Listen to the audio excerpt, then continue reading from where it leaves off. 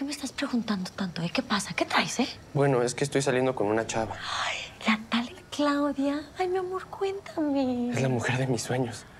Deberías ver cómo sobresale de las demás. Tiene muchas cualidades. Ay, muchísimas. Es de Acapulco. Tiene un colorzazo. Ay, tiene un acento que... mm, Va a clases de yoga, va a clases de tubo, de tubo. Deberías verla cómo da vueltas y vueltas y vueltas como pirinola. De tubo. Ok.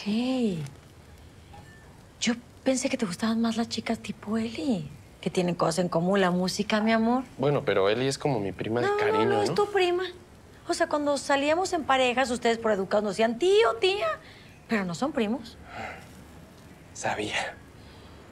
Bueno, ese no es el punto. El punto es que yo sé que Claudia quiere algo conmigo, solo que a veces es un poco raro. ¡No! ¿Qué qué? No, no, no, no, no. No, no, cuenta. ¿qué pasa? ¿Qué trae? ¿Cuál es la cura o qué? Chema, eres su wow. Sí, wow. Así me dice Sebas, que soy un wow. Oh my God. No, no, no, no, no, Chema. No es wow con W, es wow con G como de perro. ¿De qué eres el perro de Claudia? El Wow con G. Es la mascota humana exclusiva de cualquier chica espectacular. Un Wow nunca tendrá alguna posibilidad de contacto o atracción sexual con la chica de sus sueños.